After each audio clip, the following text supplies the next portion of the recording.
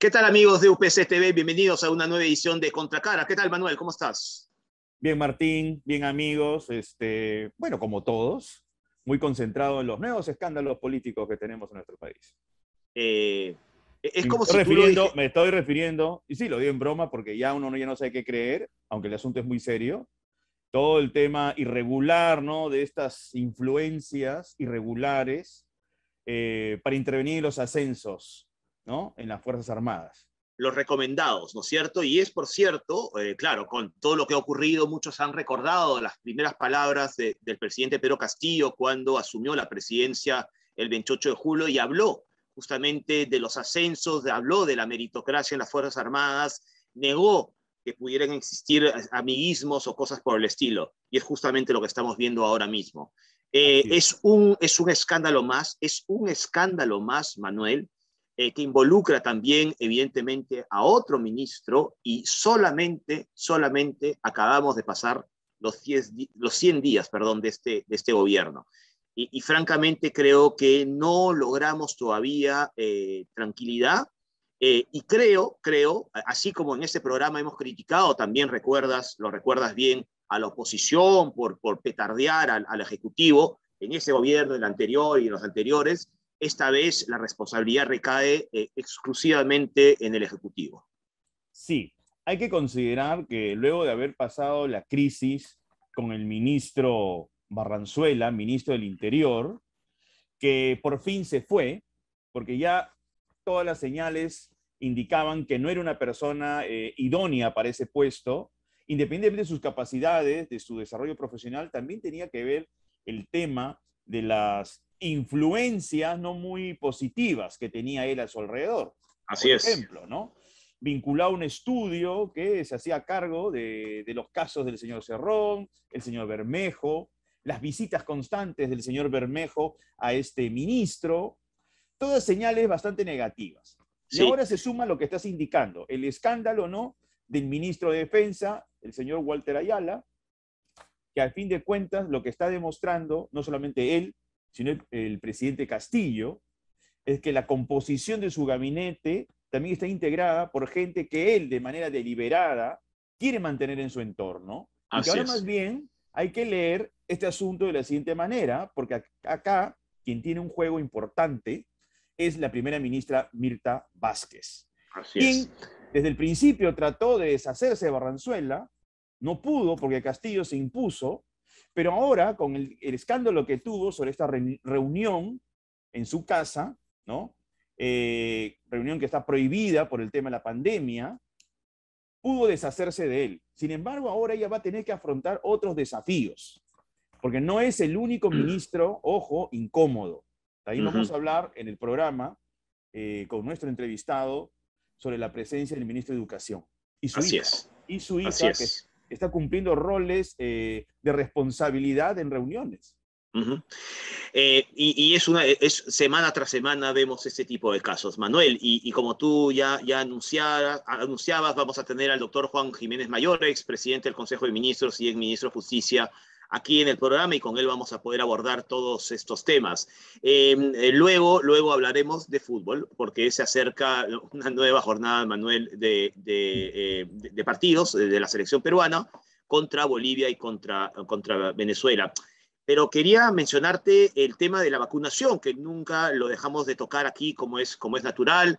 Ya se han pasado las 16 millones de dosis, de, digamos, de dos, eh, de personas con dos dosis lo cual representa, eh, Manuel, ya el 57% de la población objetivo, ¿no? Eh, ya hemos pasado largamente los 36 millones de dosis entre la primera y la segunda dosis.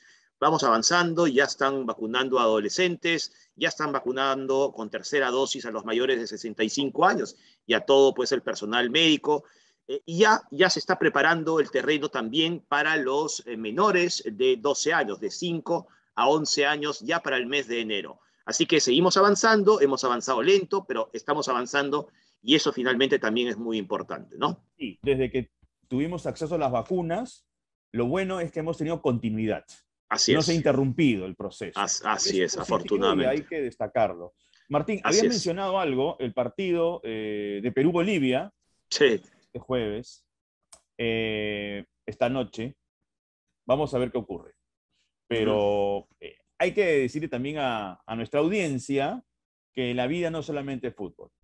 Efectivamente.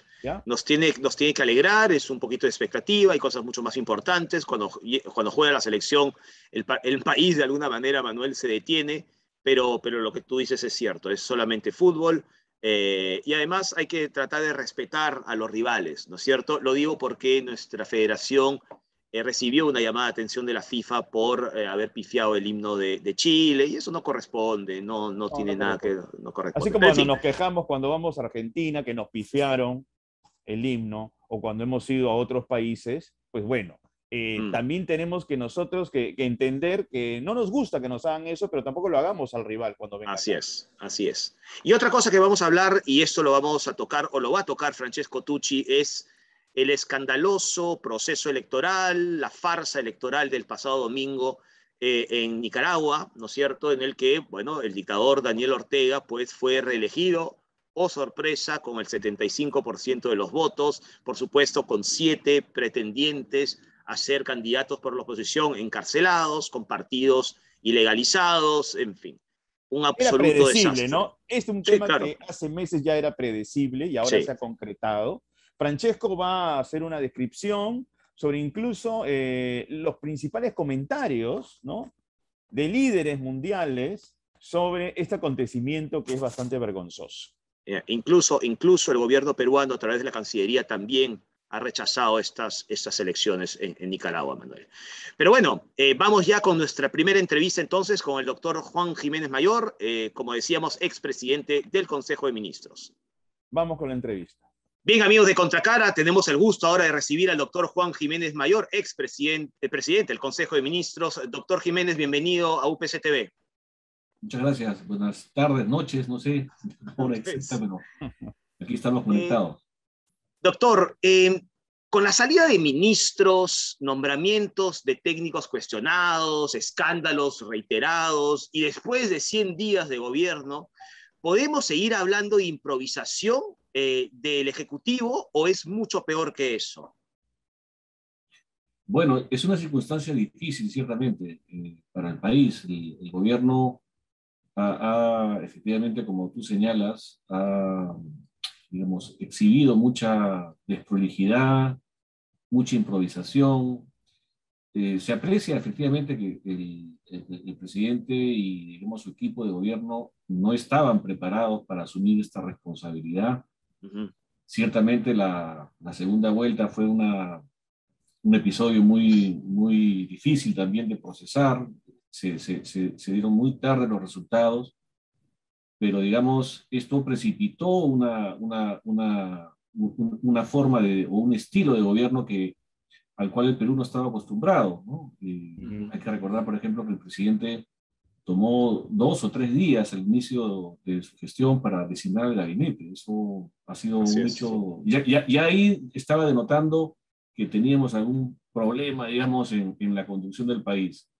Y luego con nombramientos desacertados, eh, tanto a nivel ministerial como a nivel de altos funcionarios, que todavía estamos, eh, digamos, viendo que, que, siguen ocurriendo, es decir, que no estamos todavía aplicando los filtros necesarios. Y por el contrario, estamos eh, apreciando que en ciertos escenarios por ejemplo, el principio de meritocracia, que es esta, esta base fundamental, digamos, para la idoneidad de los cargos, de los ascensos, en, general en la función pública, eh, no se están dando las, las eh, señales eh, que puedan permitir que tengamos una tranquilidad que por lo menos vamos a tener funcionarios y funcionarias idóneos para los cargos. Entonces, esto creo que afecta una cuestión fundamental que, la, que el propio gobierno va a tener que eh, eh, pagar esa factura, y por supuesto todos los peruanos. Claro. Es un principio que debe aglutinar al, a la administración, que es el de la buena administración, precisamente, el buen gobierno.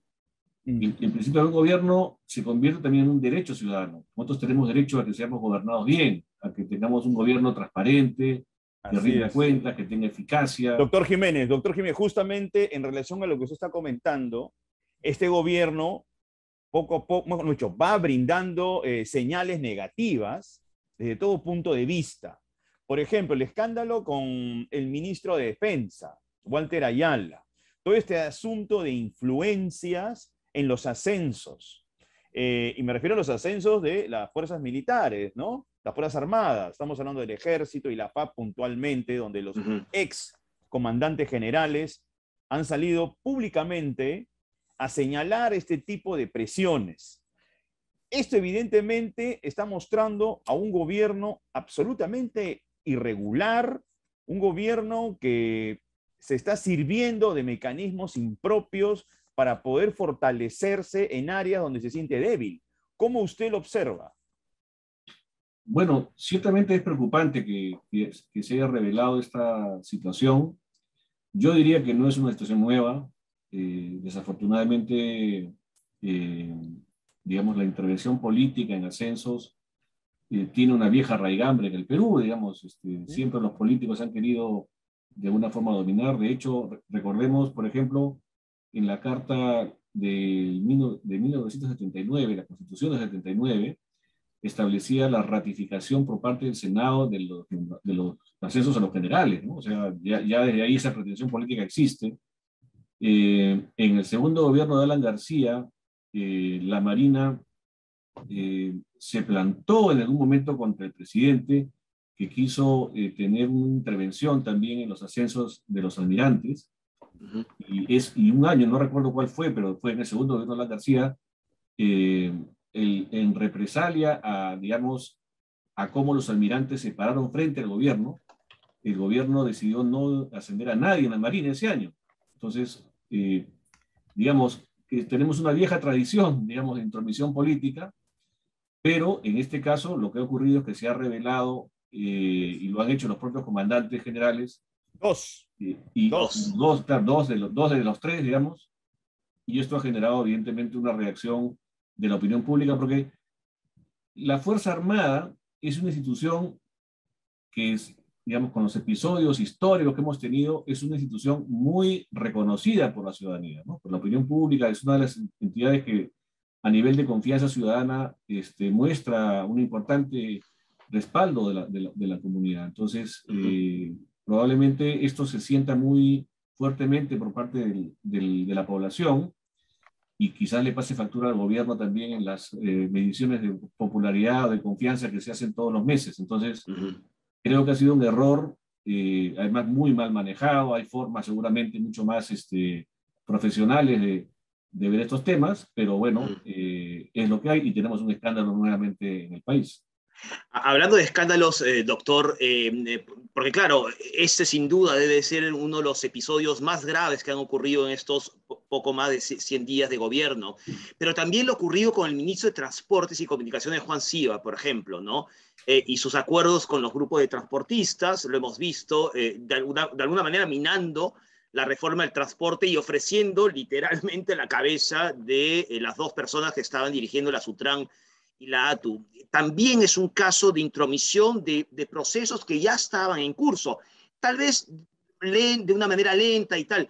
Eh, eh, es otro escándalo eh, que remece y que, como usted dice, también afecta a la propia ciudad, ciudadanía y que puede pues, afectar mucho la popularidad, por ejemplo, del gobierno en las próximas encuestas que se vayan a, a publicar, ¿no? Sí, quizás hay una percepción que podríamos catalogar, ¿no? En el caso del gobierno. El gobierno es un gobierno de personas vinculadas a los gremios de trabajadores, a los gremios sindicales, ¿no? Eh, eh, maestros, eh, en fin, es un gremio importante, en el Perú uno de los más fuertes, digamos, que, que, se, que se, tienen, aunque ahora están divididos. Pero eh, lo que debería entender el gobierno y el presidente Castillo, espero que sí lo pueda hacer, y creo que la presencia de la primera ministra Mirta Vázquez va a ser importante en esa cuota de lo que voy a decir, es que se tiene que entender que el, gobierno, la conducción del Estado, eh, genera una enorme responsabilidad a quienes asumen esa, esos, esos, puestos, porque tienen que pensar, y ya no solamente en los grupos eh, de interés o en los grupos de, de poder que pueden ser los que hayan legitimado, digamos, su accionar político, sino que tienen que velar por el interés general. Es decir, eh, la idea de Estado es una idea de bienestar general, en donde tenemos que pensar en lo mejor para la comunidad, no solamente para determinados grupos de poder, los grupos de poder no solamente en nuestra historia, los grupos de poder económico, sino también los grupos de poder eh, social que pueden tener, tener también una implicancia directa en la toma de decisiones. Entonces, no se trata que ahora hacemos un gobierno de sindicatos, sino que ahora tenemos un gobierno para todos. Y creo que lo que se le reclama al presidente es que como un gobierno de izquierda, trate de hacer lo mejor posible para que ese gobierno de izquierda tenga éxito, no desarmando el país ni destruyéndolo, sino más bien generando políticas de inclusión, políticas que puedan favorecer a determinados grupos, pero sin destruir digamos, la, arquitectura o sin destruir el andamiaje que tiene el Estado en, en, términos económicos, en términos también, de, por supuesto, de diálogo, de, de posibilidades para, para, generar riqueza y generar empleo. Y estamos en un escenario más crítico, ¿no? Un escenario de pandemia, donde se ha caído la economía fuertemente. Este año estamos viviendo eh, con empréstitos. El 25% del presupuesto del Perú este año, 2021, se está financiando con deuda, ¿no? Eh, eh, nuestra deuda en relación al PBI ha crecido de 26% que estaba en el 2019 a 36% en, en, este año y va a, va a, seguir subiendo seguramente en los próximos años porque ahora se entiende, se entiende que esa subida es básicamente por un contexto muy especial, ¿no? Que afecta es a todo correcto. el mundo. Lo que pasa es, es que cada país tiene una realidad totalmente diferente, otros tienen más recursos. Nosotros tenemos una serie de precariedades a nivel social que involucra que el impacto sea mucho más fuerte, ¿no? Eh, por ejemplo, en el aspecto de la salud. Nuestro sistema de salud no es tan sólido y eso se ha visto justamente cuando la pandemia empezó. Pero quería, a propósito de lo que estaba usted refiriendo sobre lo que debe ser el gobierno, y mencionó a la primera ministra eh, Mirta Vázquez. Usted ha sido eh, primer ministro. En ese sentido, usted, con este contexto, ve posibilidades de que la primera ministra, Mirta Vázquez, pueda fortalecer ese gabinete, es decir, con ministros que sean afines a su visión política y no más bien tener que coexistir y apagar incendios con ministros eh, elegidos por el presidente Castillo que de pronto pues no, no corresponden ni siquiera por calidades y que además tienen agendas propias, como ha sido el caso del ex ministro del Interior Barranzuela. Sí, bueno, e, es, es complejo, ¿no? O sea, si bien la Constitución dice que el presidente del Consejo de Ministros propone al gabinete, esto en realidad corresponde a un diálogo que, realiza el presidente de la República con el primer ministro o primera ministra en su caso. Esto es usual que, se desarrolle de esa manera, es una parte de una tradición, vieja tradición eh, del Perú. Eh, pero eh, creo que la primera ministra, en, precisamente en el incidente que, que, que tú comentas, Manuel, el, el, incidente de Barranzuela, demostró ciertas agallas en el sentido de, eh, bueno, emplazar al presidente de que este Amenazó con irse, ¿ah? Amenazó con irse. ¿Perdón? Amenazó con irse si Barranzuela correcto, se quedaba. Correcto, o sea, y, y, y, eso no es una decisión fácil, ¿no es cierto? De, de, sobre todo en, eh, con una persona que recién ha asumido el cargo y ni siquiera tuvo la oportunidad de, de tener el voto de confianza. Entonces, lo que revela eso es que ella está más allá de, digamos, de, tener pretensiones de, puestos, de puestos políticos, una pretensión quizás de eh, tener una proyección mayor sobre ciertos principios que ella, que ella defiende. Y ella, por ejemplo, es una persona muy relacionada al mundo de los derechos humanos y, y, se ve claramente ese sesgo en sus acciones y en sus políticas. Entonces, creo que eso le puede dar un sentido eh, importante al gobierno. Se ve un liderazgo. Eh, ojalá que ese liderazgo se mantenga y que el presidente la empodere, porque creo que es importante que el presidente pueda delegar ciertas funciones de eh, ejecución multisectorial a la primera ministra y que el presidente mm. pueda hacer otras cosas que, para la cual puede ser muy, muy, muy efectivo. ¿no? Entonces, creo que la, la idea de, de, desarrollar un esquema de gobierno eh, con bastantes facultades o poderes a la primera ministra puede ser, para esta coyuntura, además, donde hay mucho, mucha polarización, y, y, y Mirta Vázquez es una persona dialogante, es una persona que está teniendo puentes, es una persona que está comunicando mejor, entonces mm. creo que eso puede generar una mejor conducción del gobierno. Mm. Lo, la, la, la, otra, la, otra, la otra visión de ese problema son los, los celos que a veces tienen los presidentes cuando tienen un primer ministro. Yo pensé que me iba a decir de Perú el problema sí. era Castillo, ¿no? El problema es Castillo, no es Mirka Vázquez, por lo que vamos viendo, ¿no? Porque le va sembrando ministros impropios, le va sembrando problemas y uno se preocupa por esa coexistencia, o sea, hasta qué mm. punto ella va a poder soportar este tipo de eventualidades que son complejas, ¿no? Sí, y, hay que tener en cuenta también a, los otros sectores de esta, esta trama, que es, el, que libre, el partido de gobierno, ¿no? Exacto. Además tiene, o sea, hemos visto de una manera insólita, creo que primera vez en la historia del Perú, que el partido de gobierno no vote a favor del propio 16 gabinete. 16 votos en contra del gabinete, 16 votos en contra. Sí, eso es insólito, eso aquí en todo el mundo, ¿no? O sea, eso, ¿cómo entenderlo? Básicamente en, en, en el hecho de que hay una parte importante de este partido que considera que el poder, el, el gobierno, es eh, una suerte de propiedad del partido, ¿no? Yo lo comentaba hace unos días, eh, en los últimos 20 años hemos tenido 28 primeros ministros, desde que se recupera la democracia a fines del año 2000, y de los cuales, eh, si no me equivoco, solamente nueve han sido primeros ministros del partido de gobierno. el resto han sido primeros ministros independientes, independientes. no, no pertenecía al partido de gobierno. Por ejemplo, fue mi caso, el caso de diferentes ministros que han participado en, los gobiernos sucesivos en los últimos 20 años. Lo que indica de que hay más bien una tendencia a que los primeros ministros sean personas independientes al partido de gobierno, contrariamente a lo que piensa eh, la gente de, Perú Libre. Entonces, este, que lean un poquito de historia para que vean más o menos mm. cómo funciona el poder en el Perú. Ahora, doctor Jiménez, eh, lo, que está claro eh, eh, en esa votación de confianza la semana pasada del gabinete Mirta Vázquez, lo que, está, lo que está claro es que el efecto Barranzuela fue clave en la votación del bloque Perú Libre.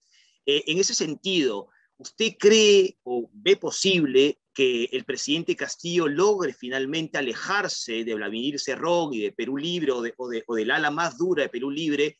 y formar una nueva bancada un nuevo grupo junto a, digamos, a la facción del magisterio que tiene eh, y seguir adelante en su, en su gobierno, tal vez llamando a otros partidos, a, no sé, a consensuar dentro del legislativo?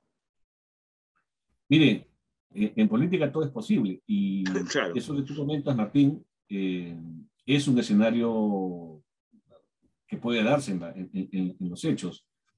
Si el, si el, si el gobierno articula una estrategia de puentes, de diálogo, de, de, alianzas políticas con otros partidos, partidos más de centro o centro izquierda que, estén, están representados en el Congreso, eh, el gobierno podría tener una base de apoyo, por lo menos eh, para temas eh, claves del país. Uno de ellos, por ejemplo, es la no vacancia, ¿no? O sea, para comenzar. O sea, por ejemplo, claro la gobernabilidad del país requiere eh, ciertas alianzas y, esto puede significar que el, gobierno efectivamente genere esto, este, estos mm. escenarios, mm. Eh, que es un asunto, por ejemplo, que, es inviable para el Partido Perú Libre. Ellos piensan de que ellos tienen que gobernar solos, o sea, es una, es una visión de la política muy cerrada, eh, muy, muy de, manual, digamos, marxista, ¿no? y, no de, y no de, digamos, de la practicidad de la política, de, una, de, una, mm. izquierda que puede ser mucho, mucho más moderna, eh, que, pueda, que pueda generar consensos en otros espacios, que pueda aplicar un, un programa de gobierno mucho más eh, sensato, abierto, ¿no? Una izquierda como hemos tenido en América Latina, en Chile, en Brasil, en fin. Por ejemplo, claro. Claro, porque incluso, solamente para hacer sí, sí.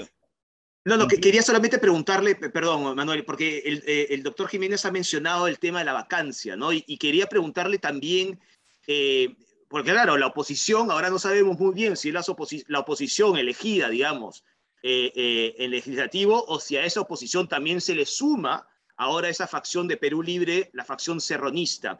Y, porque quería preguntarle también su opinión o, su posición respecto a la oposición, a la oposición oficial, digamos, ¿no? Que constantemente trae a colación eh, esa posibilidad de vacancia, ¿no? Y esto desde hace, no de ahora, desde hace varias semanas como casi único argumento para eh, enfrentar a este, a este gobierno. La oposición acierta, eh, mencionando constantemente la vacancia en sus mensajes? Yo creo que no, porque finalmente están planteando un discurso destructivo de la mm. gobernabilidad, por más simpatías o antipatías que uno pueda tener con el gobierno. Creo que la vacancia es un, es un arma eh, letal, pero de última instancia, ¿no? Es decir, cuando no puedan funcionar otros mecanismos de control, mm. Eh, porque finalmente es un arma política, hay que decirlo en, esos términos. Claro. Eh, digamos, hasta el día de hoy no se aplica la vacancia porque no tienen los votos. Bueno, como el cierre del Congreso, que también es otra arma política, ¿no? También, claro. ¿Ah? Como el cierre del Congreso también es otra arma política. Es correcto, es correcto, es correcto. Entonces, aquí están los dos, los dos están mirándose de reojo, están tratando de, ver en qué momento eh, toman la acción, pero es un elemento que el gobierno tiene que, tiene que también sincerar, o sea, el gobierno tiene que construir confianza y el, gobierno con los nombramientos, con las acciones que viene realizando, con, con los errores recurrentes, están generando obviamente una, una crítica. Yo hoy, hoy, ahora escuchaba, creo que era el jefe de la bancada de Perú Libre, decir pues que hablaba en términos futbolísticos, ¿no? Que esto estamos recién aprendiendo a jugar, entonces déjenlo jugar. Es como la selección peruana que comienza de menos a más, ¿no? Entonces, este, lo, ha dicho esta, esta, esta mañana. Eh, y, además dice que está jugando con, con, el, con, el, público en contra, con el árbitro en contra, entonces no, tiene, no hay un juego limpio. Entonces, miren, la política en el Perú es así, la política es muy, muy hostil. O sea, uno cuando llega a la política y, y, tiene una función de gobierno, tiene que entender que le van a dar de alma. O sea, eso es natural. Y eso es el papel de la oposición. Eh, claro, uno esperaría una posición razonable, pues una posición que pueda, pero así, así es la política en el Perú, o sea, somos muy, muy, bueno, muy, hostiles realmente. Aquí en el Perú y en, y en todas las partes. ¿ah? correcto, no, solamente acá. Yo, digo por, por, mi experiencia y por la... Y usted, ojo, usted también ha pertenecido a un gobierno que ha sufrido una serie de ataques de manera permanente. O sea, no ha sido fácil su permanencia en esa gestión. A mí me tuvieron interpelado siete horas en el Congreso. Siete horas, así. Claro, claro. Es, eh, y además te dicen de todo, te insultan, ¿no? Eh, Antes que nos gane el tiempo, doctor eh, Jiménez, le quiero hacer una pregunta de esta naturaleza. ¿Usted cree, sinceramente, que el presidente Pedro Castillo posee la jerarquía y el coraje para poder establecer realmente un gobierno de consensos? No, no sé, bueno, digamos, no sé si la palabra coraje es la, adecuada. Porque a veces necesita coraje para poder afrontar ciertas situaciones, como desprenderse de sus aliados naturales que le están haciendo mucho daño. Seguro, seguro. Digamos, las condiciones, uno, uno, las condiciones del liderazgo son quizás innatas, ¿no? Este, él ha tenido un liderazgo en su momento en, en, el ámbito sindical, pero cuando eso se ha trasladado al Palacio de Gobierno, ya la cosa cambió y, y realmente uno tiene que estar preparado, y eso, eso es una lección para todos, yo creo que uno tiene que estar preparado para gobernar, ¿no? Pues, es decir, uno tiene que tener cierta carrera política, cierta carrera, digamos, inclusive dentro del servicio público, para poder entender cómo funciona el Estado. Y creo que uno de los problemas del, del, presidente Castillo es que no conoce cómo funciona el Estado, y ojalá que aprenda rápido, ojalá que pueda él, además, asesorarse, porque uno de los problemas que tenemos en el Perú, Manuel y Martín, es lo que yo llamo el alto gobierno. La forma en que está estructurada el alto gobierno eh, tiene una serie de problemas para quien llega a, ser presidente, porque eh, Palacio de Gobierno es un edificio muy solitario y es un edificio además que genera ciertos eh, elementos hasta psicológicos del personaje porque lo, lo, lo atrapa, termina atrapando al presidente, termina aislando al presidente inclusive de la realidad a veces, porque solamente reciben cierta información y, nuestra precariedad está en, básicamente en cómo se organiza la presidencia de la República. Si analizamos cómo está organizada la presidencia del, presidente Castillo, vamos a ver que tenemos en primer lugar a este señor Bruno Pacheco, creo que se llama. Pacheco, exactamente. que es como su sombra. El señor Pacheco lo acompaña al presidente a donde va, si va al, al centro de convenciones, si va a Cusco, a Ayacucho, la persona que va a saber al lado del presidente es él. Y el trabajo del señor, del señor Pacheco no es acompañar al presidente. El trabajo del señor Pacheco es organizar Palacio de Gobierno, que, que, que, la, que, el despacho presidencial, que la oficina presidencial funcione de manera adecuada. Función de prensa, función de seguridad, función no de la eso. presidente, en fin, tiene una serie de tareas. Y luego tienes al grupo de, digamos, de consejeros presidenciales, que hasta ahora yo, hasta ahora no sé quiénes son los consejeros del presidente, pero usualmente son muy poquitas personas. Pero todo el aparato público, por ejemplo, el sistema de información eh, de la DINI, por ejemplo, de la Dirección de Inteligencia, el sistema de información del Instituto Nacional de Estadística e Informática, el sistema de información del CEPLAN, del Centro de Planeamiento Estratégico, que deberían ser tres oficinas, tres columnas eh, vertebrales, digamos, de la presidencia, pues no están en Palacio y, no, figuran en Palacio. Entonces, yo creo que en el Perú necesitamos reajustar eh, lo que yo llamo el alto gobierno, es decir, reestructurar la oficina presidencial para efectos de que pueda tener una, eh, una información mucho más cabal y no solamente la que le ofrecen los ministros. Miren. En, en, la época que yo estuve en la presidencia del Consejo de Ministros, hicimos una cosa que es bien interesante que yo les invito a que la vean. Ahora le cambiaron el nombre, ¿ya? pero se llamaba eh, Sayhuite. Sayhuite es esta piedra de los incas, ¿no es cierto?, donde era una maqueta. Bueno, uh -huh. Sayhuite es un proyecto de información digital que hicimos en el gobierno para que, que, que tiene, digamos, capas de información de todas las bases de datos del Estado en materia, eh, digamos, de, de, infraestructura, de programas sociales, de proyectos de inversión, en fin. Todo georreferenciado. Ustedes entran a Saihuite, ahora como digo, le han cambiado el nombre, pero si ponen Saihuite la van a encontrar, van a poder ver dónde están las comisarías en el Perú, las postas médicas, hospitales. Que eso es fundamental, claro. No, o sea, es, esa información se hizo como una suerte de tablero de control de la presidencia para que el presidente pueda estar informado de cómo estaba manejándose el país. Era un, un tablero, ¿no? Donde podías tener toda la información. Mírenlo porque es bien interesante. Eh, lo buscaremos, lo buscaremos. De, de, digamos, de, de, poner todas las capas de información de, bases de datos del Estado peruano que las que están en una sola plataforma. Es fundamental. Eh, yo, yo, recordaba cuando usted mencionaba antes, eh, doctor, lo de la interpelación de, siete horas, ¿no? Cuando usted mencionó hace un tiempo que la política era una profesión de alto riesgo y, y, y lo, hemos, hemos comprobado que es así.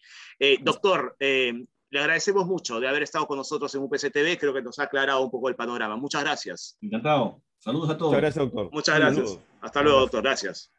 Bien, Martín, eh, el ex primer ministro, Juan Jiménez, eh, ha sido claro en cuanto a su interpretación a este gobierno, pero no sabemos si esa buena voluntad que él tiene se va a poder concretizar a través pues, del presidente Castillo, que es el máximo responsable de la política nacional. Es interesante, ¿no? Porque mencionaba cuando tú le preguntaste sobre la salida de Barrenzuela, sobre luego el nuevo ministro, y, y, y él, y él recordaba algo que, que, siempre se ha sabido, y es que en realidad, por supuesto, en coordinación, pero el que, el que propone, o en ese caso la que debería proponer ministros, es la primera ministra, la presidenta del Consejo de Ministros. Sí cosa que no parece haya ocurrido en el caso de Barranzuela, ¿no es cierto? Ahora, en términos prácticos, es eh, un diálogo que sí. tiene que realizarse entre el presidente y el primero, la primera ministra, ¿no? Así es, así es. Pero lo que nosotros Pero, vemos, Martín, y por eso iba la pregunta también con él, es que pareciera que tuviera mucha fe en Mirta Vázquez, cuando Mirta Vázquez está en un terreno bastante minado. Sí, sí, sí, bastante minado, y, y no necesariamente por la oposición en el Congreso, ¿no? ¿no? el enemigo por... está en casa. O está sea, en casa, ¿no? Parece, ¿no? Eh, porque, sí. claro, nombran a personajes, no solamente a nivel del gabinete, a nivel no, de las no. instancias del Estado. El Así tema es. de la SUTRAM, por ejemplo, fíjate tú. Vergonzoso, señora, Manuel. Vergonzoso. Denuncias de robos, como si fuera, pues, este, ¿qué el, el Estado? ¿Qué tipo de personas está convocando? Mm. Sí, pues eh, e, e, es eso, ¿no? Y, y, luego recordé, bueno, él lo recordó, eh, pero me hizo recordar esa interpelación que él tuvo de siete horas, ¿no? No tuvo una buena relación o una relación muy sencilla con, con el Congreso de aquel, de aquel momento. Pero es interesante, creo que nos ha recordado varios pasajes de, de lo, que, de lo que fue su, eh, su paso por eh, la presidencia del Consejo de Ministros. Sí, sí, sí. Y sus esperanzas están básicamente sustentadas en que la primera ministra Mirta Vázquez pueda, en todo caso, mm. tapar esos vacíos o evitar esas minas que le colocan desde el gobierno. Así es. Manuel, vamos a hablar de Nicaragua. Eh, y para eso, eh, nuestro colaborador, docente, amigo, eh, Francesco Tucci, en Así va el mundo, va a presentarnos lo que ha ocurrido el pasado domingo, esta farsa electoral de la que ya comentábamos en el inicio del programa. Sí, una situación absolutamente terrible para lo que es la democracia. sobre todo como la entendemos. ¿no? Así es. Y vergonzoso que haya países que hayan respaldado, saludado el triunfo de Daniel Ortega. Muy pocos, ¿eh? Muy poquitos. Sí, sí, muy poquitos, pero Venezuela, ¿no? Eh, claro. Bolivia. Bolivia, a eso iba, a Bolivia. Sí, sí. Felizmente que nosotros no hemos tenido ese, ese desliz, por decirlo de alguna manera afortunadamente. Había un comunicado de Cancillería bastante claro y creo que, eh, eh, digamos, en, en, bueno, en muy buenos términos, ¿no? En defensa, por supuesto, de los procesos electorales tal y como los conocemos, ¿no? De acuerdo a eh, lo, que, lo que nosotros entendemos por democracia, ¿no? Pero, en fin, creo que Francesco Tucci nos va a presentar en Así va el mundo de una manera mucho más completa. Bien, vamos con Así va el mundo.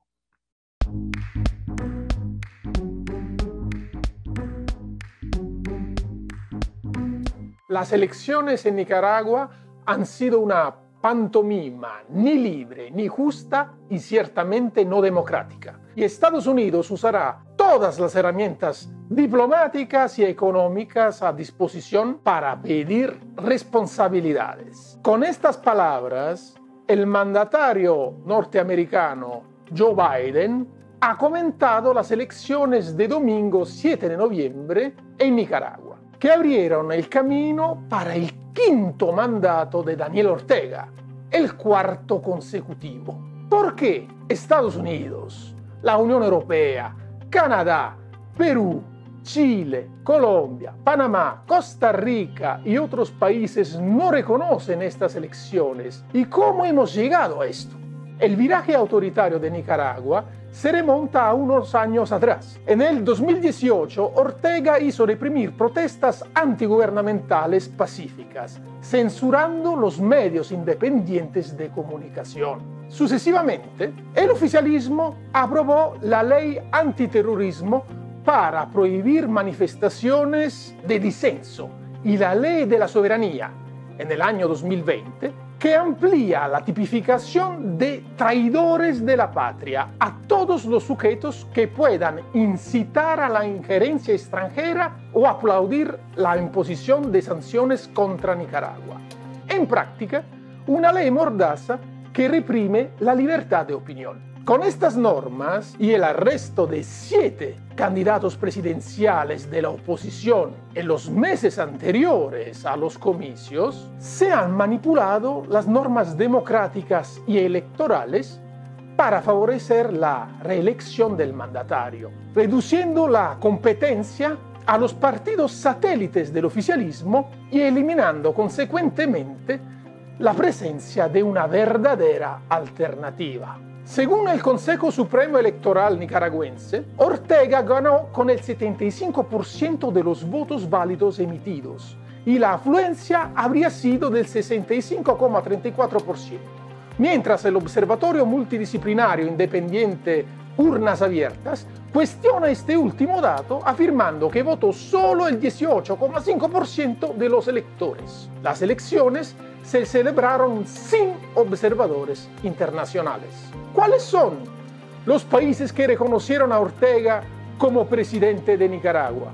Los aliados históricos de Ortega reconocieron las elecciones, es decir, la Federación de Rusia, Venezuela, Irán, Bolivia y Cuba, que se felicitaron por la forma en que se llevaron a cabo los comicios. Cabe recordar que cuatro expresidentes latinoamericanos, Fernando Enrique Cardoso de Brasil, Laura Chinchilla de Costa Rica, Juan Manuel Santos de Colombia y el chileno Ricardo Lagos, han pedido a la OEA suspender a Nicaragua y quitarle el financiamiento. Finalmente, ¿cuáles serán las consecuencias de esta reelección de Ortega? Nicaragua podría ser aislado a nivel internacional el Congreso norteamericano ya ha aprobado la llamada Ley Renacer para aumentar la presión diplomática y económica. considerando también la posible revisión del Tratado de Libre Comercio con Nicaragua, que exporta el 60% de sus productos e insumos a Estados Unidos. Renegociar o eventualmente bloquear el Tratado de Libre Comercio empobrecería más al país centroamericano, posiblemente empujando una nueva ola migratoria hacia Costa Rica y los mismos Estados Unidos. Ulteriores sanciones a Nicaragua por parte de los países occidentales podrían fortalecer los lazos de Ortega con la Federación de Rusia, Irán y podrían abrir el paso al ingreso de la República Popular China, a pesar que Managua tiene relaciones diplomáticas con Taiwán. En conclusión, queda claro cómo esta predecible reelección haya intensificado las tensiones en América Central, evidenciando más la deriva autoritaria en el país y el intento de Ortega de consolidar el poder familiar, siendo su esposa, eh, Rosario Murillo, vicepresidenta y copresidenta. Así va el mundo. Hasta la próxima. Ok, Martín, creo que está claro, ¿no? Eh, la situación de Nicaragua es dramática para lo que tiene que ver con la institucionalidad política, una institucionalidad sana, democrática, pues bueno, en Nicaragua lamentablemente no existe eso. Y claramente no existe. Esta elección ha sido una pantomima. Esta elección ha sido una pantomima, una farsa, tú lo mencionabas antes, se esperaba, evidentemente no iba a haber absolutamente eh, nada, ¿no es cierto? Eh, y varios países, como decía además este Francesco, eh, no han reconocido, no van a reconocer este tipo de, de, resultados, ¿no? Y además no hay que olvidar, ¿no? Que Daniel Ortega en su primer discurso después de esta victoria, pues en fin, eh, eh, basada en la farsa, como decíamos, pues arremetió contra básicamente todo el mundo, obviamente Estados Unidos, a España los tachó pues de herederos del franquismo, al Parlamento Europeo dijo que estaba lleno de franquistas y de nazis, eh, en fin, eh, en, su, eh, en, el mismo tono de que nos tienen acostumbrados ese tipo de, de gobernantes, ¿verdad? Sí, recuerda que hace un par de años él propició una masacre contra, contra, su propia población. Efectivamente, efectivamente. Más de 300 personas fallecieron en protestas contra su régimen totalitario. ¿no? Efectivamente, lo recuerdas bien, Manuel. Pero bien, eh, comenzamos una nueva jornada de, de, la selección, eh, se juega contra Bolivia y contra Venezuela. Y para esto, Manuel, hemos eh, invitado a, nuestro colega, a nuestro amigo Jaime Pulgar Vidal, que siempre tiene, tiene posiciones muy reflexivas sobre el futuro de nuestra selección. Así que vamos a hablar con él. Vamos a hablar con él y vamos a ver si está positivo o no. Vamos a ver, vamos a ver. Así que vamos con la entrevista. Bien, amigos, retornamos con Contracara vía UPC TV y ahora estamos con la presencia de Jaime Pulgar Vidal, el periodista deportivo que tiene más espíritu positivo con la selección peruana. Jaime, ¿cómo estás? Hola Manuel, ¿qué tal? Hola Martín, eh, qué, gusto de, de, nuevo estar con ustedes para hablar, como bien dice Manuel, con espíritu positivo para lo que serán dos partidos que mm, hace ya muchos años considerábamos fáciles, pero que es imposible. No hay nada fácil en la eliminatoria sudamericana, no solo para Perú, sino para cualquiera. Vamos, vamos, a hablar a ver de lo que viene primero el jueves y luego la otra semana. Mira, eh, Jaime, tú has dado en el clavo. O sea, el, el, partido con Bolivia, por ejemplo, en La Paz, que era un partido que Perú no lo había manejado mal, al menos yo lo, lo, veo así, Lamentablemente hubo una falla y esa falla eh, desembocó en el gol de los bolivianos. Pero ojo, el partido en Lima, más allá de que muchos eh, creen que por un, no es un tema histórico, sino también un asunto de realidad en cuanto al equipo que tenemos, podemos imponernos a Bolivia. Pero ojo, Bolivia es un equipo que ha mostrado en las últimas fechas bastante eficiencia. Es decir, no creo que este partido sea muy fácil para Perú. Eh, no, no, sin duda que no. Bolivia viene de ganar los dos partidos en la eh, más reciente fecha doble. Ahora, de, lo que dijiste hay una cuestión interesante, Manuel, y que es que Perú fue a La Paz pensando que iba a ganar los tres puntos. Mm. Fue como amplio favorito, eh, fue creyendo que, le íbamos a ganar a Bolivia. y hay una cuestión en el fútbol que es muy importante y que tiene que ver con el aspecto psicológico. no solamente uno se prepara en términos de, de juego, en términos de estrategia, sino también prepara la cabeza. Y, es claro que algunos de estos errores puntuales, algunos hinchas puntualizaron el error de Cueva, pero no exageremos tanto. Errores en general tienen que ver con cuestiones psicológicas a veces. Ahora, lo bueno de todo esto también es que ahora Bolivia viene como favorito, ¿no? Uno lee las crónicas que vienen desde La Paz o de Bolivia en general, y ellos quieren sumar su tercer eh, triunfo consecutivo en eliminatorias, que, que podrían ganar por primera vez de visita después de no, sé cuántos años que no ganan de visita en una eliminatoria. En el, 89, 89. 89. Uf, qué eliminatoria. 2-1 nos ganaron. Balán González hizo un gol ahí en el Nacional. Creo que cuando empecé eh, a trabajar de periodista deportivo, yo empecé en 88, la primera eliminatoria que cubrí, no fue mi culpa, por si acaso, fue la del 89. la peor de todas. No iba a decir algo, así que yo voy advirtiendo que no tuve nada que ver en el entuerto. Me acuerdo que llegó de entrenadores brasileños que... Pero bueno, estas son otras épocas. Ahora está Ricardo Vareja que da una conferencia de prensa eh, que ha anunciado algunas cosas interesantes con respecto a lo que va a hacer Perú. No le queda claro, pues aparentemente aquí no, no llegaría para el partido ante Bolivia, sí para el partido ante Venezuela. Eh, y de otro lado, en todo caso, pues parece que si llegase Aquino, eventualmente para el partido con Bolivia, no van a estar juntos Tapia con, con Aquino, ¿no? Este, aparentemente lo que va a hacer Garita al comienzo en este partido frente a Bolivia será poner a Tapia junto a Peña. Eh, lo cual, bueno, eh, de todos modos Tapia eh, es una garantía para, para, esa posición en lo que pueda hacer Perú. Pero lo más interesante, creo yo, es que Gareca, en la conferencia que dio en la más reciente, ha establecido cosas puntuales con respecto a, que esta vez este, como que Perú está pisando tierra, ¿no? Como que, que, que no, no, no, no, no hemos ganado los puntos ante Bolivia antes de jugar, primero tenemos que jugar el partido y luego habrá que ver qué ocurre ante Venezuela. Mm. Pero hay que hablar tranquilos, eh, hay que jugar ante un rival que es un rival importante, que probablemente este, va, va a ir al ataque, que probablemente nos va a jugar o va a intentar jugarnos de igual a igual. Tiene a Martins, eh, su jugador Muy bueno, muy bueno, muy bueno, sí.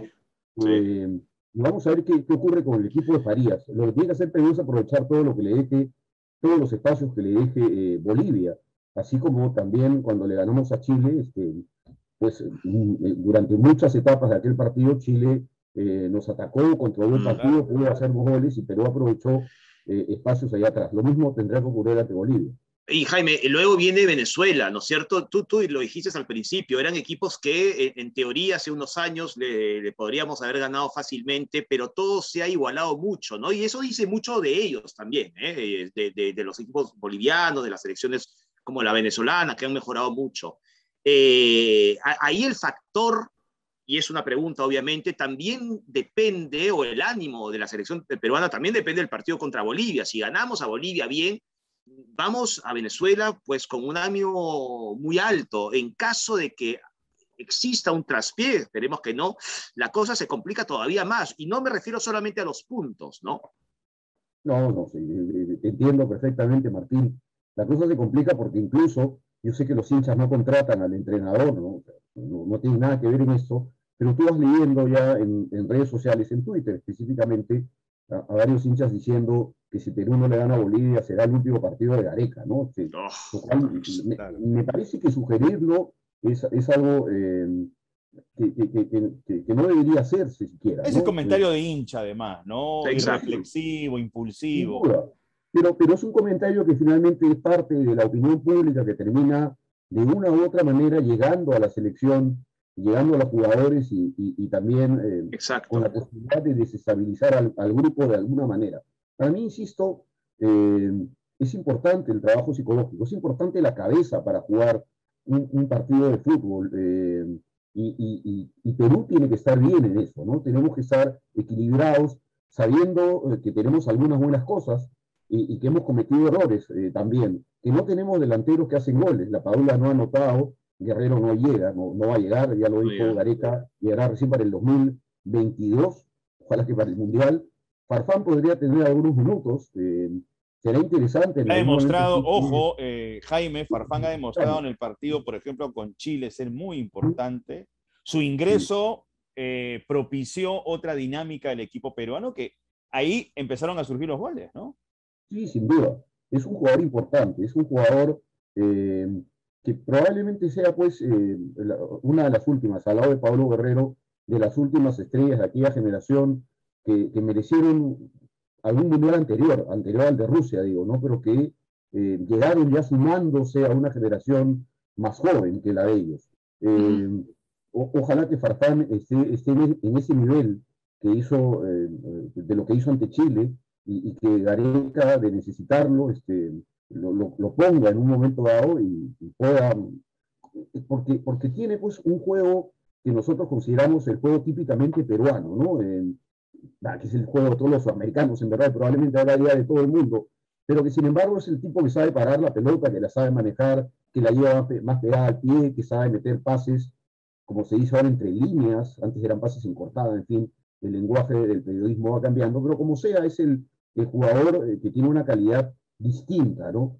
Qué, lamentable que no pueda estar Paolo junto a él si es que finalmente Gareca decide poner a Farfán. Pero bueno, eh, yo eh, pensaría que si Gareca decide poner a Farfán, esta vez no creo que sea en lugar de la Padula, más bien Farfán y la Padula podrían ir juntos. claro, claro. No, de nueve, no de nueve, ¿no? Porque la Padula sería el nueve definitivamente, pero en términos del lenguaje anterior, el lenguaje que manejo yo, pues eh, Farfán sería una especie de, enganche eh, detrás de, la Paula. Vamos a ver eh, finalmente cómo se va manejando el partido. Algo más probablemente fue importante de todo lo que dijo Gareca es el aforo que tendrá el estadio ante Bolivia, porque la FIFA ha castigado a Perú.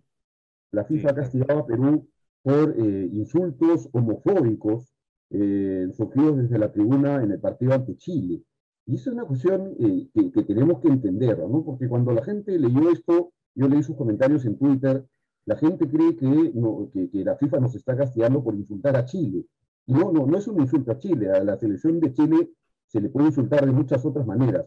Lo que la FIFA castiga son los insultos homofóbicos, aquellos que hacen alusión justamente a, discriminar a, las personas eh, del grupo LGTBIQ más, ¿no es cierto? Esto es algo que ahora eh, no, se debe hacer, en verdad nunca se debió hacer, pero a estas alturas hay efectivamente em, em, una suerte pues de, decir ya basta, ¿no? Este, la gente del grupo LGTBIQ más tiene los mismos derechos que cualquier otra persona.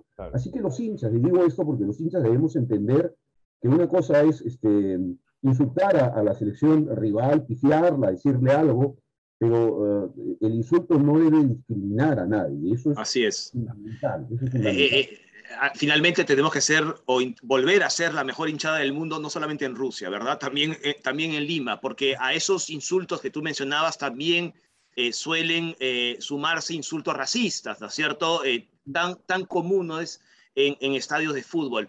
Em, Jaime, también quería preguntarte por el presente, tú lo mencionaste antes, pero de dos jugadores que son fundamentales en sus equipos, como Aquino eh, y Tapia, ¿no es cierto? Titulares muy importantes en los centros del campo. A mí, y, es una pregunta, eh, tú, tú, has seguido, eh, el, digamos, el recorrido de jugadores peruanos mucho más que nosotros, pero son jugadores que son mucho más, que a mí se me antoja, son mucho más profesionales, que entienden el fútbol cada vez de una manera distinta y probablemente ayuda mucho que jueguen en ligas, evidentemente muy, superiores a la peruana, como es la liga mexicana y obviamente la liga española, ¿no? Eh, sin duda, totalmente de acuerdo. Eh, Renato Tapia y Pedro Aquino representan justamente aquel jugador que todos quisiéramos tener en el equipo peruano.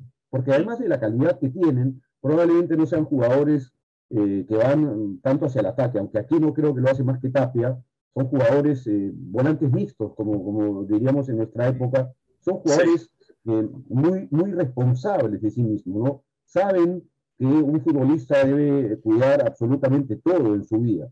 Eh, y, que, y, que, además hablan, sobre todo Tapia, ¿no? que, que tiene un discurso propio, que participa no solamente en el ámbito del fútbol, en la conversación, sino en otros ámbitos. Y, y, es, da, da, mucho gusto tener ese tipo de jugadores ahora eh, en la selección. Eh, sin duda, Martín, eh, de acuerdo contigo, pues si a mí me, dijesen ahora, ¿te gustaría hacer alguna nota con alguno de los seleccionados?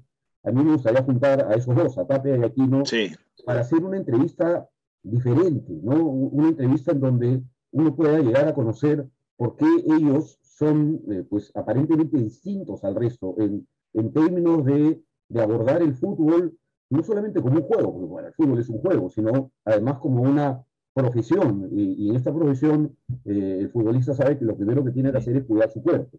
Y yo creo es. que son un- una demostración clara.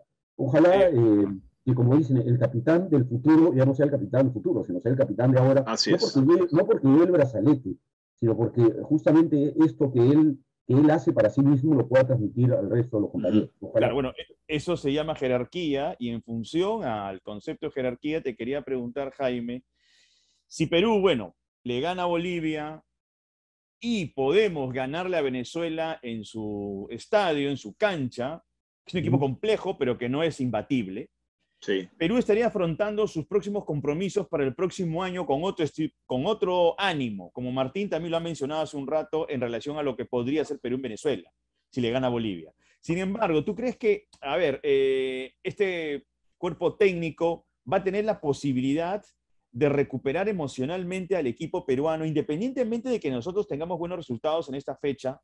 Porque lo que se viene va a ser durísimo, ¿no? Tenemos partidos con Colombia allá en su cancha, con Uruguay en Montevideo, y vamos a tener que recibir también a, a Ecuador, a Paraguay. Entonces, eh, no es imposible para nada, pero sí va a exigir eh, de parte del equipo peruano dar un salto mayor. ujú, Sí, ¿Cómo tú percibes eso? Y salto Sí. mayor no solamente en, lo, en la cancha, sino aquí, Ujú. en la cabeza. Sí, sí, de, acuerdo, Manuel. Eh, y lo que pasa es que el partido entre, ante Venezuela, el, segundo de esa fecha doble, no digo que Venezuela tenga la misma jerarquía que, ha tenido Ecuador últimamente, pero sin duda si le ganamos a Bolivia y, pudiésemos vencer a Venezuela, ese partido ante Venezuela, de ser triunfo, podría ser como la bisagra, lo mismo que ocurrió en la eliminatoria pasada cuando le ganamos Ecuador en Quito, lo que no Mm. habíamos hecho en eliminatorias. Eh, a partir de ahí, eh, sin duda, si, si pudiésemos sumar de a seis, además eh, ganando de visita ante un rival importante, es verdad, es importante, ¿no? Los- la gente de mi edad probablemente se reirá de lo que digo, pero ahora ya no se puede reír uno de estos. Es un rival importante. Si le ganamos a Venezuela, eh, vamos a llegar con, con- con otra cabeza. Yo creo que, eh, que, que lo que va a hacer Gareca no solamente lo va a hacer para el 2022, sino lo está haciendo para esta fecha doble. Él entiende que esos partidos se ganan volviendo a ser aquel equipo que sacaba resultados totalmente inesperados y, que nos dejaban a nosotros embelesados con, con, todo lo que hacían estos jugadores. ¿no? Aquel partido eh, ante Ecuador eh, en Quito, en la eliminatoria pasada, eh, con el relato de, de Daniel Pereiro, eh, pues es inolvidable, es inolvidable, ¿no? Eh, Es épico, pues, ¿no? Es épico. Claro, un equipo claro. sin épico. duda, sin duda. Y entonces, si podemos hacer algo parecido ante los venezolanos, eh, y pueden además, porque claro, el fútbol no solamente lo juegan los futbolistas, el fútbol también lo juega la prensa deportiva. Eh, por eso lo recordaba Daniel. ¿Tú te imaginas en un partido ante, ante Venezuela con goles, eh, con triunfo peruano, ¿no es cierto? Algún relato, alguna frase de aquellas que, que- que va a quedar además no solamente en la historia del periodismo deportivo, sino va a quedar aquí, aquí en Sí. la cabeza de, de los jugadores, eh, los va a emocionar, van a querer ver el gol constantemente y eso los va a motivar mucho más. Por eso es que se dice, y esto parece un cliché, pero no, no es un cliché. Eh, los partidos de la, sele- de la selección los jugamos todos los hinchas al fútbol, todos, todos, absolutamente todos. Eh, de tal manera que eh, a mí me parecería eh, emocionante si finalmente se da ese triunfo ante Venezuela después de ganar la Bolivia, evidentemente, eh, y, el relato queda para que luego, en el 2022, eh, además en un mundo distinto, espero yo, no solamente por el fútbol, sino en términos también de pandemia, ojalá totalmente distinto, sepan los que nos están viendo y escuchando que a Manuel y Martín los veo o los escucho por Zoom o por teléfono o WhatsApp, pero no los vemos hace muchísimo tiempo. Ojalá Efectivamente. 2022, el 2022 pueda ser distinto para todos, Ojalá, Eh, ojalá. para Perú, para la selección peruana, que llegue muy motivada para lo que resta. Yo sé que los rivales son difíciles, siempre lo que uno acomete en la vida es, es difícil, si no, Mm, uh, uno no se lo, se lo propondría, ¿no? Este, pero creo, creo que tenemos eh, entrenadores y jugadores capaces de, de lograrlo. Mm. Ahora, eh, Jaime, tú mencionabas 2022, ¿no? Y yo, yo me pregunto, porque hemos mencionado a Guerrero, hemos mencionado a Farfán, eh, Perú eh, siempre ha sufrido eh, cuando hemos hecho cambios generacionales, y no me refiero solamente al fútbol, recordemos lo que pasó con, con nuestra selección de vóley, aunque claro, esta selección no ha tenido esos éxitos, ¿no? Pero en fin, quería mencionarte si estamos listos para el cambio generacional que significará ya no tener a jugadores como Guerrero y Farfán ahí arriba, ¿no? Este, y, que, y que han sido muy eficientes en la selección, además, para lo que, hemos, lo que le hemos pedido, ¿no? A ver, eh, no sé si alguna vez te he contado eh, una anécdota de mi vida que, es lo que me motivó a ser periodista deportivo. Pocho Rospigliosi en Radio Ovación siempre decía que la generación brillante que tuvimos había sido una generación espontánea, que nos había caído del cielo. Y yo no le hacía caso, yo no creía en eso. Investigando luego como historiador fui descubriendo el trabajo que se hizo en las grandes unidades escolares, de donde salieron pues eh, Cubillas, este, y Muñante y todos ellos. Y entonces, e, esta, esta generación que nos llevó al Mundial de Rusia, con eh, el añadido de, de, estos dos que tú mencionas, es una generación que tampoco cae del cielo. Esta generación, para mí, surge de, de, tres instancias importantes en el fútbol. La primera, el torneo de reservas, organizado por un canal, un canal en donde yo trabajé. Yo vi el esfuerzo que hizo ese canal, además, eh, evidentemente con una firma comercial y con algo de dinero, para hacer que los jugadores de reserva viajen en el mismo avión, vayan a las mismas concentraciones, jueguen en el mismo estadio. Luego, lo segundo, el mismo canal, habría que decirlo, organizó la Copa Libertadores Sub-20. Y en la Copa Libertadores Sub-20 hubo jugadores importantísimos como Carrillo y Oreja Flores, que fueron sin duda eh, los jugadores que son de una generación posterior a la de Parfán y Guerrero, pero yo creo que han tenido la calidad suficiente para lucirse también en sus respectivos, eh, en las respectivas ligas donde juegan. Y lo tercero, Martín, es la bolsa de minutos, tan, tan discutida y tan criticada por aquellos entrenadores, y yo los entiendo, estoy de acuerdo en ese sentido con ellos, pero en un país en donde los equipos de primera división, salvo con todas excepciones, se burlan y no trabajan con menores, la única forma de obligarlos, aunque sea de que agarren a alguien de algún sitio, le pongan la camiseta y lo hagan entrar a la cancha con la bolsa de minutos. Si no, nunca pondrían a nadie. Bueno, son mm. tres cuestiones. De esas tres, ya no existe el torneo de reservas como antes, no por la pandemia, sino ya no existió porque pues el canal seguramente ya no, no, veía pues este...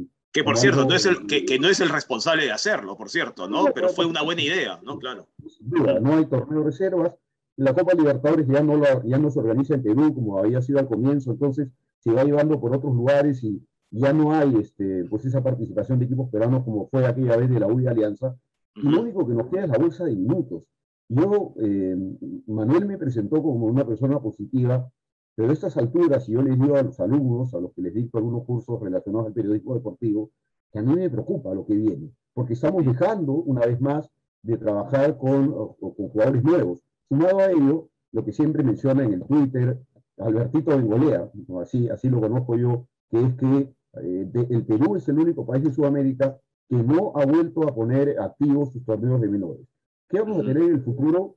Pues no tengo la más mínima y remota idea. No veo que, que haya un jugador, no como Farfán, no como Guerrero. No, no hay un jugador como Carrillo, como el Oreja Flores, como Jordi Reina, que fueron jugadores importantes en esa Copa Libertadores Sub-20. Eh, tal vez Cristal sea el único equipo que está trabajando pero, bien. Pero, eh, Jaime, eh, dime, dime. tienes razón, Cristal, pero Cristal siempre lo ha hecho. El mm. Cristal no es novedad. Ha sido, al menos en los 80, creo que era el equipo que mejor trabajaba las divisiones inferiores, más allá de los éxitos o de los fracasos. Eh, posteriormente, Alianza Lima, y no fue casualidad, porque Alianza Lima han salido Farfán y Guerrero, y quería apelar al tema del caso de estos dos jugadores. Eh, hay un factor también de tipo social, una variable social, que en ello se concretó. Por ejemplo, el aporte que tuvo eh, el director del Colegio de los Reyes Rojos, ¿no? Eh, eh, Constantino Carvalho, era dirigente de Alianza Lima y que ofreció justamente el colegio que él dirigía para que estos chicos, en ese momento chicos, completaran eh, su formación escolar. Eso fue un asunto central también Sí. para su formación y no es accidente tampoco que ambos jugadores hayan sido tan importantes, no solamente para la selección, sino para los equipos por los cuales eh, ellos han jugado en el exterior. Mira, mira Manuel, eh, yo siempre que les digo a mis, a mis alumnos y también en los textos que he hecho sobre fútbol, eh, el vínculo que hay entre el fútbol o cualquier deporte y el sistema educativo ha sido fundamental en Europa para el desarrollo del deporte moderno, aquel deporte que surge pues del siglo XIX. Eh, y muchos de estos jóvenes periodistas deportivos jóvenes, digo, porque tienen 18, 19 años, son jovencitos, eh, les encanta hablar de la masía, de la masía donde se preparan los de Barcelona, y creen que el éxito de la masía es que se adoptó un estilo de juego con el, no sé, voy a inventar un número, 4-3-3, 4-4, el que sea, no importa. Claro. El otro día les hice leer una lectura sobre la masía, y fíjate que en la lectura ellos descubrieron recién a estas alturas que lo más importante en la masía de Barcelona es el vínculo que hay entre fútbol y el sistema educativo. Así Aquel es. futbolista que no rinde en el colegio donde está matriculado y que está dentro de la masía, no juega en las divisiones menores de Barcelona. Y si sigue sin rendir en el colegio, se va. Aunque seas la máxima estrella, al Barcelona no le interesa tenerlo más. Eso es fundamental. Y lo que hizo Alianza Lima, Alberto Macías, Constantino Carballo, eh, fue eh, fundamental. Esta asociación por dominio íntimo que, que, que, que llevó adelante esta generación de aliancistas que finalmente obtuvo el bicampeonato con, con Gustavo Costa, pero habría que reconocer el trabajo. Ese trabajo fue de Alberto Macías y de Constantino Carballo. Eh, porque no solamente estuvieron Farfán y Guerrero, sino mu- muchos otros jugadores. Yo tuve la suerte de, de estar en la inauguración de la llamada Villenita de Chincha, y esa Villenita de Chincha se jugó el torneo, la final del torneo de menores, que jugaron Alianza Lima y creo que fue Sporting Cristal el rival. Y ahí tuve la oportunidad de ver en vivo y directo en la cancha, jugando tal vez la última vez que estaba eh, Paolo, a Paolo Guerrero y a Jefferson Farfán juntos con la camiseta de Alianza Lima en, en la categoría sub-20. Y jugaban estupendamente, eran una maravilla, ¿no? Eh, y claro, es, es fundamental esto, ¿no? Este, este aporte del, del sistema educativo, que no es que enseñe solo valores, sino que además te enfoca, porque tú te das cuenta que si quieres lograr esto, y, si te esfuerzas para aprobar un curso, porque parte de lo que quieres lograr, lo logras. Entonces, eh, eh, es, efectivamente en el deporte pasa lo mismo. Quieres ganar un partido, tienes que esforzarte, no, no, no, no debes descuidarte, no debes salir de noche, no debes hacer muchas cosas. Paolo lo aprendió mejor, hay que recordar que Paolo estuvo cinco años, los cinco años de la secundaria en los Reyes Rojos, eh, Farfán solo estuvo dos. Paolo lo aprendió bastante mejor eh, y es algo que lamentablemente no se ha vuelto a hacer, ¿no? Eh, Sí. Jaime Noriega, el director, eh, perdón, el eh, directivo de Sporting Cristal y luego de- del Estéreo Grande Ventín, que lamentablemente ya no está eh, en ese equipo, eh, él quiso poner un colegio dentro del Estéreo Grande Ventín para hacer exactamente lo mismo. Lamentablemente no, no, no le dio resultado y ya, ya dejó la institución. Pero es algo que, que- que- falta en, en el Perú. Es Esa, esa, relación, esa relación no es casualidad, ¿no? Esa casualidad- la, la relación deporte, educación no es casualidad. Pues. No, no, yo por acá tengo un libro, no, no, la verdad no sé dónde está, pero está por ahí, que se llama, eh, es un libro que escribió un filósofo eh, inglés en el siglo XIX, y que era un libro que era leído en todo el mundo, traducido a todos los idiomas, que se llamaba Educación Intelectual, Moral y Física del Individuo. Y, y este señor eh, decía efectivamente que a los muchachos había que este, darles educación eh, intelectual porque el, el- el intelecto, dice, la ciencia que aprendías te daba disciplina. La moral era sin duda la moral protestante y, el deporte te daba pues un cuerpo saludable. Era, él decía, era una triada perfecta para generar eh, nuevas generaciones eh, importantes para lo que era en ese momento el imperio británico. Y eso es algo que se hizo durante mucho tiempo en todo el mundo y lamentablemente luego se ha dejado de hacer. Ha, ha habido momentos en que el Perú se, que, que se ha vuelto a hacer, como bien lo mencionaba Manuel, en el caso de Constantino Carballo, pero yo creo que es una opción que, que, que es fundamental y, y, con esto cierro la idea. Eh, lamentablemente la Federación Peruana de Fútbol va por un lado y el Ministerio de Educación va por otro, porque dice, no, no yo no tengo nada que ver con el Estado. Claro. Lamentablemente esa desunión produce justamente esto que estamos viendo. Deberíamos volver a organizar torneos interescolares con el apoyo de la Federación y el Ministerio de Educación. Lamentablemente no se hace. A, ver, si a alguien se le ocurre. Bien, eh, Jaime, muchísimas gracias eh, por estar con nosotros. Eh, te iba a decir que no, no dejes de ver los mapas de calor de los jugadores durante el partido, a ver qué tal, qué tal les va. Pero en fin. Este... La, verdad es que mi polo hoy día era blanco, igual que el de. pero bueno, hace tanto calor que se ha puesto rojo. Es un mapa de calor. Mi exacto, exacto, exacto. Pero bueno, Jaime, muchísimas gracias. Siempre es un placer hablar contigo, no solamente de fútbol, de otras cosas también. En esta ocasión nos ha reunido eh, el fútbol. Eh, habrá ocasión para hablar de otras cosas. Muchas gracias. ¿Puedo, solo agregar algo? Si me permite, quería expresar mis condolencias por el fallecimiento esta semana de Pierre Manrique, un periodista deportivo que nos acompañó durante tanto tiempo y que lamentablemente ha partido bastante joven, ¿no? Este, así que expresar mis condolencias a su familia y a todos los colegas que lo han conocido y, nos, sumamos a esas condolencias, sin duda alguna. Nosotros también, Jaime. Perfecto. Muchas gracias, Jaime. Gracias Un fuerte abrazo. Nos vemos. Chao, chao, gracias. Bien, Manuel, qué importante, ¿no? Deporte y educación. Tú recordaste lo de Constantino Carballo con, con los Reyes Rojos, ¿no? Del caso de Farfán y, y, Guerrero. Y, creo que eh, Jaime ha sido muy claro, ¿no? Es tan importante también, ¿no? Desarrollar la cabeza para una, una carrera deportiva pues exitosa, ¿no? Y eso es algo que ya se ha entendido hace muchísimo tiempo. Mucho tiempo. Sin embargo, lo que da curiosidad es que los gobiernos se suceden y se suceden y no aplican este tipo de criterio, que es importante porque elevas el nivel social de tu población a través del deporte. ¿Será que no da votos? ¿Será que no da votos? Mira, de pronto pueden dar votos si lo quieres ver de una manera utilitaria, pero hay que ser inteligente justamente para que esa idea sea expuesta, ¿no?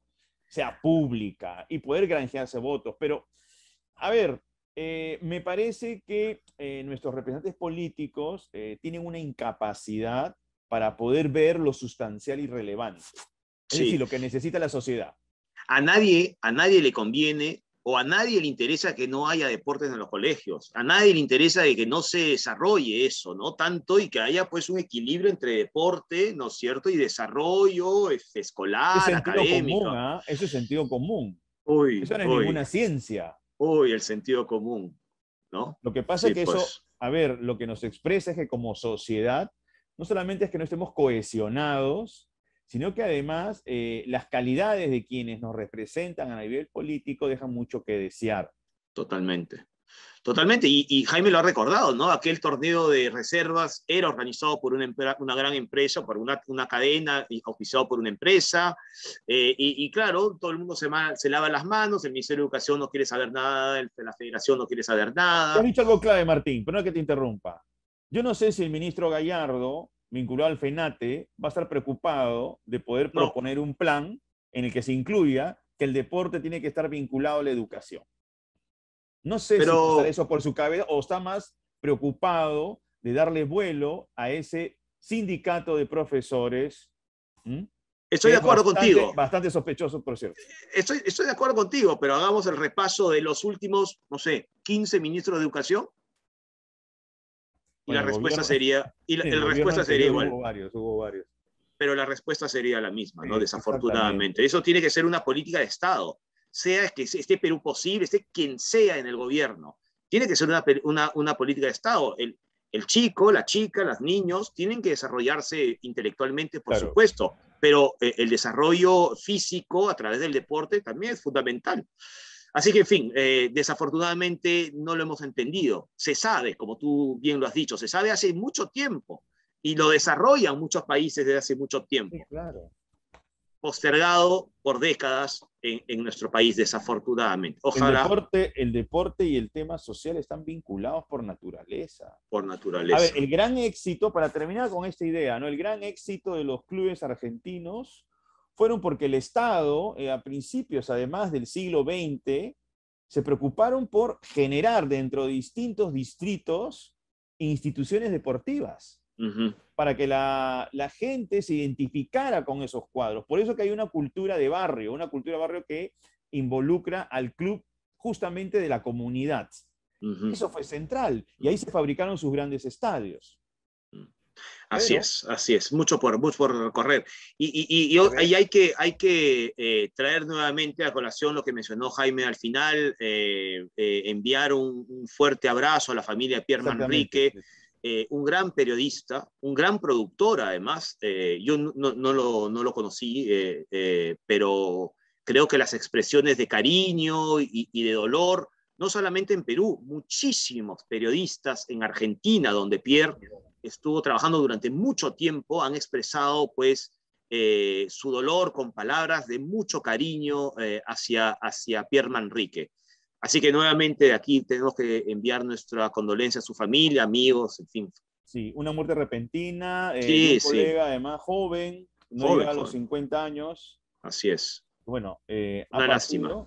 Y desde, bueno, nosotros expresamos nuestras condolencias a sus familiares y a sus amigos. Así es, así es. Así que, bueno, Manuel, con esto vamos terminando eh, el programa de hoy. Eh, ojalá a Perú le vaya bien, eh, sin, sin, sin, sin dejar de recordar que esto es un deporte, esto es fútbol.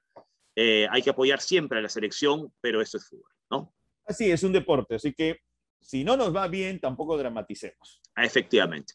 Pues nada, Manuel, nos vemos ya la próxima semana. Nos vemos. Un abrazo a todos. Chao, chao. Chao, chao.